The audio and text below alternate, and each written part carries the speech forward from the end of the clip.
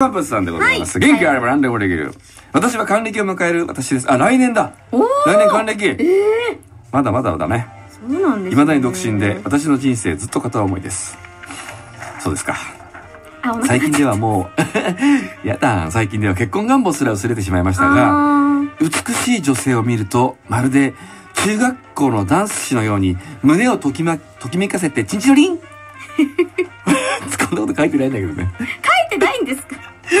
私の場合、美しい女性というのは、見た目の美しさじゃなくて、輝いてる人のことです。はい。だから、ひたむきに活動を続けている、ご当地アイドルの食レポのやりすぎで5キロも太って、ステージでバナナの皮を踏んだようにこ転んで、振り仮名を振っても漢字を読み間違えたり、ムール貝をルーム貝と言ったり、勝負で勝ったのに罰ゲームでバンジージャンプをやらされたり、蛇を国に任されたり、マラソンを走らされたり、存在そのものがアイドルで、常に私の心をときときめかせて、カメラのレンズを抜けさせている彼女に私は片思いをしています。ありがとうございこれはあーちゃんまのことでよろしいでしょうか？す。認めたくないですけど。マラソンって何？あの、県民マラソン。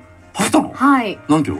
えー、でもリバーサイドなんで、あ、何？2 4、キロ5キロですね。それは自分にとっても大変なことだったんですけど。はもい。う次はもうじゃあフルマラソンはあんまりいや、無理ですね。それアンカー民間さんに頼みたいな。いやいや